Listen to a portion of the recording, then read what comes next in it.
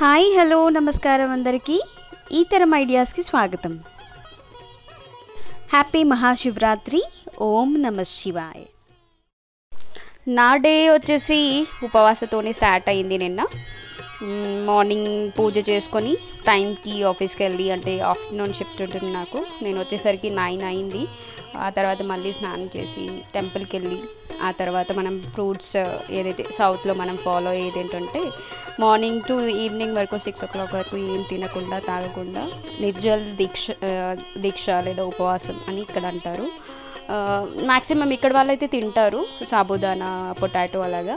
But మనకి మహాశివరాత్రి అయినా ఏకాదశి అయినా తొలి ఏకాదశి అయినా మనం కంపల్సరీ వాటర్ ఏవి తీసుకోకుండా చేస్తాం కదా. అలాగే నేను ఫాలో అయ్యాను. Nine thirty around ten ten five అయ్యిందండి నేను ఇక్కడికి వచ్చేసాను టెంపుల్కి. అంతకుముందు షూట్ చేసిన వీడియోలో కూడా ఇదే టెంపుల్ నేను వితౌట్ డెకరేషన్ చూపించాను. ఇది శివ్ మందిర్ మా ఇంటికి కొంచెం వన్ కిలోమీటర్ దగ్గరలో ఉంటుంది. చాలా చాలా బాగా సెలబ్రేట్ చేస్తారు డెకరేషన్ అవన్నీ చూడండి. చాలా రష్ ఉంటుంది. నేను టెన్ ఫైవ్కి వెళ్ళాను. లైన్లో నిల్చోవడం స్టార్ట్ చేశాను. అప్పటి నుంచి నాకు minimum one and half hour ఎవరికైనా పడుతుందండి దర్శనం అవ్వడానికి. చూడండి యాక్చువల్గా గ్రౌండ్ ఫ్లోర్లో ఉండాల్సి ఉండాలి మనకి లైన్.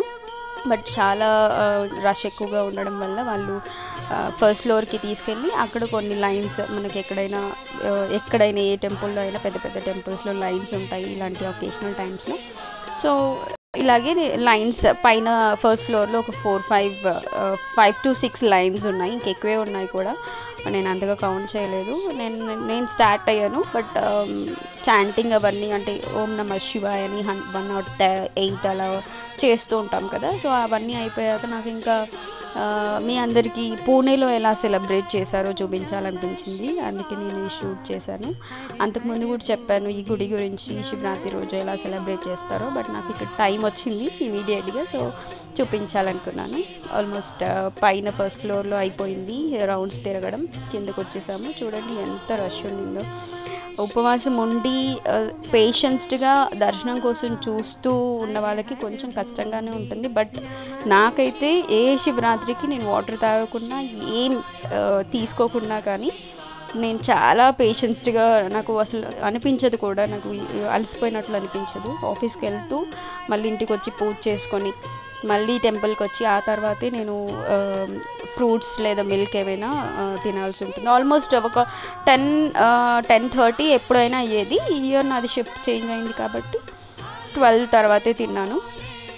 చూడండి ఎంత బాగా డెకరేట్ చేశారు. ఓం అనేది అండ్ ఇది నందీశ్వరుని ఎదురుగా గర్భగుడికి ఎదురుగా ఉంటుందని చెప్పాను కదా అది కూడా చాలా బాగా డెకరేట్ చేశారు. ఇది లోపల. సో బంతిపూలతోనే డిఫరెంట్ కలర్స్తో చేశారు. మనం బంతిపూలు దేవుడికి యూజ్ చేయము. ఇక్కడ మాత్రం దేవుడికి బాగా యూజ్ చేస్తారండి. మనకు అసలు నేను నేను వెళ్ళినప్పుడు ఎల్బీ నగర్ టెంపుల్లో నేను ఎప్పుడూ వెళ్ళేదాన్ని. అక్కడ బంతిపూలతో మీరు ఎన్ని తీసుకొచ్చినా అక్కడ డెకరేషన్కి ద్వారానికి పెట్టడానికే తప్ప లోపలికి అసలు అలౌ చేయరు. సో ఇక్కడ ఈ ఎక్స్పీరియన్స్తో ఏంటంటే ఏ పూలైనా దేవుడికి అలౌ చేస్తారు. బిల్వపత్రి అలా అన్ని రకాలుగా అరేంజ్ చేసి పెట్టారు. చాలా చాలా బాగుంది. అండ్ ఇక్కడ ఇంతకుముందు లాస్ట్ ఇయర్ ఏమో ప్రొజెక్టర్తో కొంచెం కథలు అవన్నీ చెప్పి కొన్ని వందలాది మంది వచ్చి చూసి వినడం అలాంటివి జరిగేది ట్వెల్వ్ వరకు. బట్ ఈరోజు ఈసా ఈరోజు మాత్రం చేయలేదు. ఈసారి చేయలేదు. భజన చేస్తున్నారు. చూడండి త్రిశూలం బంతిపూలతో గంటలు. ఆ కర్టెన్ వెనుక సుబ్రహ్మణ్యేశ్వర స్వామి ఉంటాడు. ఓవరాల్గా మనకి మనకి ఏవైతే శివుడు టెంపుల్ ఉండాలో అవన్నీ ఉంటాయి. సో నెక్స్ట్ డే నేను త్రీ ఓ క్లాక్ దాకా ఉన్నాను. మార్నింగ్ లేసేసి మార్నింగ్ ప్రసాదం చేసి మనం పూజ చేసుకున్న తర్వాతే మనం ఏదైనా తినాలి. సో నా ప్రాసెస్లో నేను ఒక కప్లో కొంచెం తక్కువ రైస్ దానికి కొంచెం తక్కువ పప్పు తీసుకున్నాను పెసరపప్పు చక్కెర పొంగలి అంటాం కదా బట్ నేను బెల్లంతో చేశాను దీన్ని ఏం పొంగల్ అంటారో తెలీదు. దీనికి కావలసినవి అందరికీ తెలిసినవి కామన్ ఇంగ్రీడియంట్స్ ఏ పాయసానికైనా ఏ ప్రసాదానికైనా.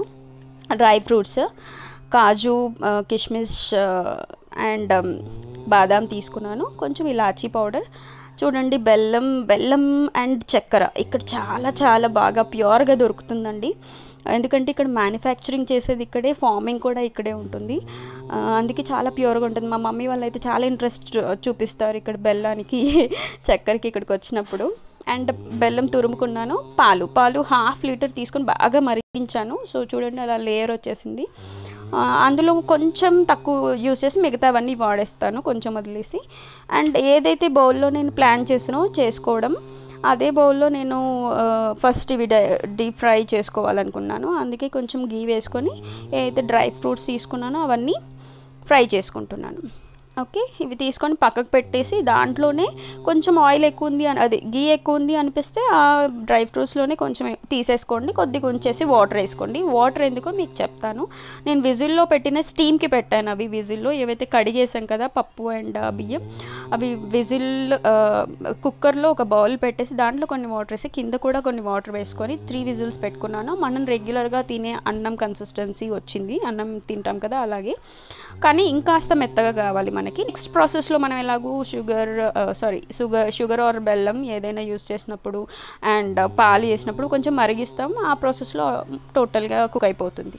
ఓకే ఇది ఎంత మెత్తగా ఉంటే అంత బాగుంటుంది. బట్ నేను చేసింది ఈ ప్రాసెస్ అయితే ఇన్స్టెంట్గా అంటే ఏవి నానపెట్టకుండా మనం ఏది ప్లాన్ చేయకుండా ప్రీ ప్లానింగ్ ఏమీ లేకుండా ప్రసాదానికి ఇమీడియట్గా కావాలి అంటే హెల్తీగా కావాలి అంటే ఇది చాలా బెస్ట్ అండి. ఇవే వే నేను నేను కనుక్కుందే నాకు నేను ఎక్కడ చూడలేదు వినలేదు.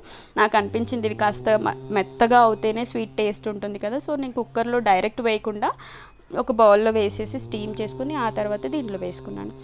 సో అవి ఉడికాయి కదా. ఇందాక వాటర్ వేసుకున్నాను కదా నెయ్యి గిన్నెలో. అందులోనే నేను ఇది షిఫ్ట్ చేసి కలిపేసి ఆ తర్వాత అది కొంచెం ఎయిటీ పర్సెంట్ కుక్ అయింది అనిపించిన తర్వాత నేను పా పాలు వేసుకున్నాను. చెప్పాను కదా హాఫ్ లీటర్లో నేను కొద్దిగా మిగిల్చేసి మిగతాదంతా వేసాను పాలు ఎక్కువగా ఉంటేనే టేస్ట్ ఉంటుంది. ఇలాచీ పౌడర్ వేసాను ఇక్కడ.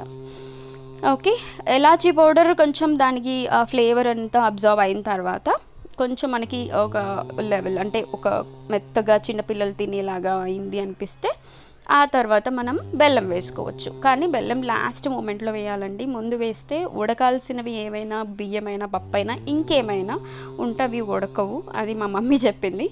సో నేను అదే ఫాలో అవుతాను. లాస్ట్ మూమెంట్లో వేసుకున్నాను.